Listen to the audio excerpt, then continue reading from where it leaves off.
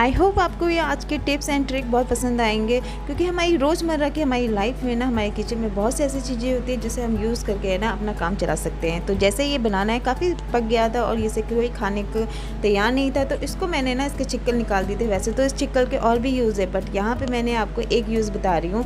तो जैसे हमारे चूल्हे में ना, खाना बनाने के बाद या तो जल जाता है या निशान उसके छूटते नहीं है, जो चूल्हे के किनारे किनारे तो आप उसे पक्के छिल पक्के जो चिक्कल होते हैं केले के, उसको आप पूरा रगड़ दीजिए, उसमें आराम से उनको सब अच्छे से उसका जो भी वाइट पोर्शन है ना, उधर को करके उसको आराम से पोस को सारे चारों ओर उसको लगा दीजिए। फिर उसके बाद जो भी आपके पास बीम लिक्विड सोल्यूशन हो, जो भी हो उससे आप कपड़े में लगा के आराम से इसे पोस दीजिए और ये बहुत ही क्लीन हो जाता है। इससे ना बहुत साफ़ दिखाई देता है चूल्हा हमारा।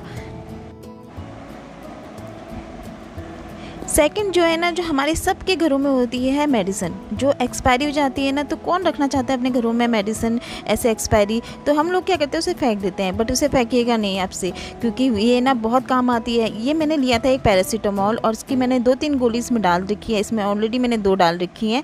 तो यहाँ पर देखिए, जो हमारा फ्राई पैन होता है ना, पीछे का जो तला होता है ना, ऐसे ही जल जाता है। शायद आप लोगों के घरों में भी जल जाता है तो यहाँ पर मैंने वही पैरासीटामॉल जो है, उसको मैंने केवल ओनली पैरासीटामॉल लिया है। मैंने कोई डिस्प्रेंस वगैरह नहीं लिया आप कोई भी दे ले सकते हैं बट मैंने पैरासीटामोल लिया है। तो यहाँ पे देखिए मैंने इससे करा है, मेरे एक हाथ में ना मोबाइल था, दूसरे हाथ में मैं ये कर रही थी तो मैं इसलिए आपको ऐसे करके दिखा रही हूँ। आप देखिए इससे ना बहुत क्लीन हो जाता है। आपके लिए ना ये जो ट्रिक है ना, बहुत काम आएगी। ये हर घरों में काम आएगी तो प्लीज़ इसे ज़रूर आप लोग भी इसे एक बार अपनाइएगा। आप लोग एक बार इसका यूज़ करिएगा तो आप खुद ही देखेंगे ना, ये बहुत साफ़ हो जाता है। देखिए सारी जितना भी जितना भी हमारा नीचे का तो तला होता है ना, बहुत होता है, बहुतों के घरों में होता है तो इससे ना आपको बहुत फ़ायदा होगा। मुझे फ़ायदा हुआ है तो आपको तो ज़रूर फ़ायदा होगा। तो यहाँ पर मैं यही आपको दिखाती देखिए कितना साफ़ हो गया है। क्योंकि जो मेडिसिन होती है ना, उससे ना बहुत चीज़ें हमारी क्लीन हो जाती है, बर्तन हमारे बहुत से क्लीन हो जाते हैं। आप लोगों के घरों में भी होता होगा, चाय बनने के बाद ऐसी ही छन्नी में चाय पत्ती रहती होगी, या तो आप इसे फेंक देते होंगे, या जिसको जो ट्रिक पता होगी तो इसे यूज़ करते होंगे, इसे रीयूज़ कर लेते होंगे किसी चीज़ में, किसी और चीज़ों में। तो यहाँ पर मैं आपको बता रही हूँ, उसको आप पानी से आराम से धो दीजिएगा, इसका दूध सारा निकाल दीजिए जितना भी दूध का मटेरियल अगर उसमें होगा तो क्योंकि दूध ना पेड़ पौधों के लिए ख़राब होता है।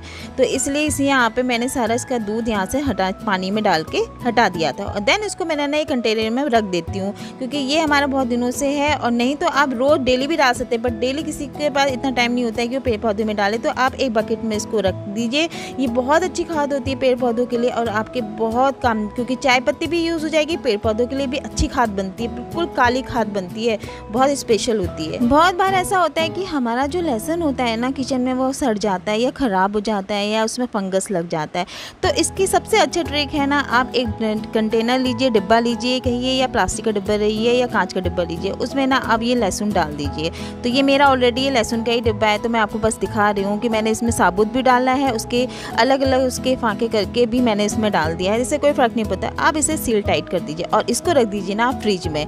यकीन मानिए ना, आपका लहसुन कभी ख़राब नहीं होगा, क्योंकि फ्रिज में रखने के बाद ना ये आराम से ना आपका बहुत महीनों तक चल जाता है। आराम से इसमें कोई फंगस कुछ भी नहीं ख़राब होता है और ये हमारे घर में, हर किसी के घर में ये लोग फ्रिज में ज़रूर रखते होंगे, जिनको पता होगा। एक्सपायरी मेडिसिन ना बहुत यूज़फुल होती है। उसका एक और बहुत सारे उसमें इसके उपयोग होते हैं। उनमें से एक उपयोग होता है ना ये ना जो मेडिसिन होती है आप कोई भी डिफरेंट टाइप की मेडिसिन ले लीजिए या एक भी ले लीजिए। इसे कोई फ़र्क नहीं पड़ता कि मेडिसिन कौन सी लेनी है। आपको कोई भी ले लीजिए।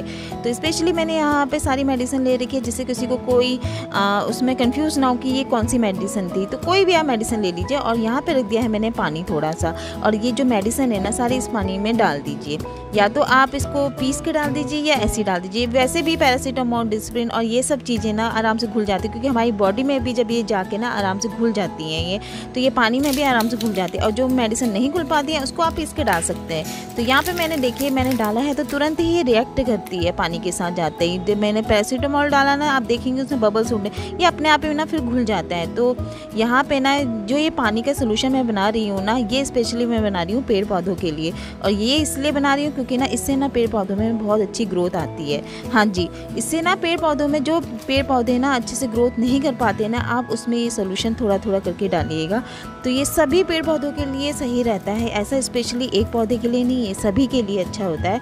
ये पेड़ों की ग्रोथ के लिए ना ये मेडिसिन सोल्यूशन जो है, ये जो मेडिसिन पानी में डाल के सोल्यूशन बनाया, बहुत बेस्ट है।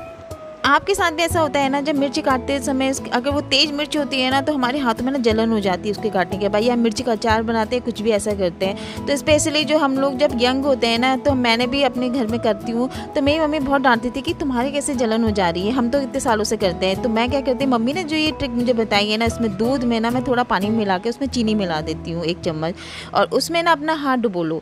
जब आप मिर्ची काटने के बाद ना आपको इतना आराम मिलता है ना, सारी इसमें जलन पूरी हट जाती है। बट आप प्रॉपर दूध डालोगे ना तो आपकी मम्मी ज़रूर डांटेगी आपको, क्योंकि मेरी मम्मी तो बहुत डांटती थी, जब मैं ये अपने घर पे करती थी ये काम तो। तो इसलिए आप दूध में थोड़ा पानी ज़रूर मिलाइएगा। अब बारी है बिस्किट की। सबके घरों में ये प्रॉब्लम होती है कि ना बिस्किट ना सील जाते हैं और वो सीले हुए बिस्किट को इसे खाए नहीं जाते। तो अब ना वो सीले बिस्किट को हम दोबारा से ना वही क्रंची लाने के लिए ना सबसे पहले आप पैन लीजिएगा, उसको आज से आँच में रख दीजिए। उसे ज़्यादा हाई उसमें फ्लेम में रखें, नहीं तो बिस्किट जल जाएँगे। तो इसके बाद आप रखिए एलुमिनियम फॉइल जो सबके घरों में होती है। तो एलुमिनियम फॉइल को आप उसमें रख दीजिए, उसमें रख दीजिए। एक एक करके सारे बिस्किट जितने भी सीले हुए हैं। तो वो बिस्किट ना इतने अच्छे कुरकुरे हो जाते हैं ना क्रिस्पी हो जाते हैं, क्योंकि उनमें वो अगर अगर आप हाई फ्लेम में रखेंगे ना तो बिस्किट जल जाएँगे बट आप इसको ये वाली ट्रिक भी ज़रूर अपनाइएगा, क्योंकि इससे ना सारे जो बिस्किट हैं ना, उनका क्रंचीनेस फिर से वापस आ जाता है और वो फिर से दोबारा खाने लायक हो जाते हैं। तो आप ये ट्रिक ज़रूर अपनाइएगा, क्योंकि मैंने भी ये ट्रिक अपनाई है। तो जो भी मैं आपको ये जो भी ट्रिक बता रही हूँ ये सब मैंने अपने घर में किया है, इसीलिए मैं आपको बता रही हूँ। अगर मैंने नहीं किया होता तो मैं ये ज़रूर, ये आपको कभी नहीं बताती, क्योंकि जो मैं करती हूँ, मैं वही चीज़ आपको दिखा रही हूँ। देखिए कितने क्रिस्पी हो रहे हैं। आराम से वो टूट जा रहे हो क्रंचीनेस वापस आ गया। लास्ट है, हमारे घरों में जो नमकदानी होती है, जिसमें हम नमक रखते हैं ना, उसमें मॉइस्चर आ जाता है स्पेशली बरसात के दिनों में। तो सबसे पहले तो नमक को कभी भी ना प्लास्टिक में नहीं रखना चाहिए। उन्हें हमेशा ही कांच के कांच के जार में या कांच के डिब्बे में रखना चाहिए, जिससे मॉइस्चर नहीं आता है। और सेकेंड टिप्स ये है कि अगर आपके उसमें मॉइस्चर आ गया है तो प्लीज़ उसमें ना आप ना क्या करिए, थोड़ा सा जो चावल होते हैं ना, जो राइस के दाने होते हैं, उनको आप एक कॉटन वाले कपड़े में या जिससे कि वो आज आर पार आराम से दिखे, जिससे ऐसा कपड़ा होना चाहिए, उसमें आप पोटली बाँध के आप उसको ना नमकदानी के अंदर रख दीजिए। इससे ये होता है ना कि जो राइस होता है ना, सारा मॉइस्चर ना ऑब्जॉर्व कर लेता है तो और नमकदानी में ना मॉइस्चर बिल्कुल नहीं आता है। ये मैं अपनाती हूँ अपने घर में तो आप भी अपनाइए इसे अपने घर पर तो आपको भी बहुत फ़ायदा होगा। अगर आपको आज का वीडियो थोड़ा सा भी अच्छा लगा है तो प्लीज़ चैनल को ज़रूर लाइक करके जाइएगा सब्सक्राइब करके जाइएगा कमेंट करके जाइएगा। और मैं आगे भी अच्छे अच्छे वीडियोस आपको देते रहूँगी।